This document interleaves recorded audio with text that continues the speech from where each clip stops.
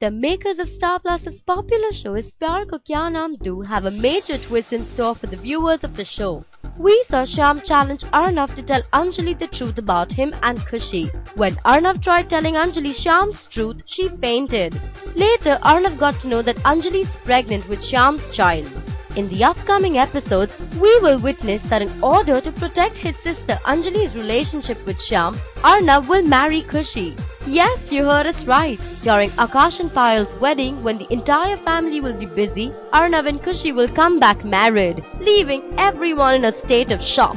So guys, are you excited to watch Arnav and Khushi's wedding? Leave your comments and let us know. Watch it, it's fun and there's lots more interesting stuff coming.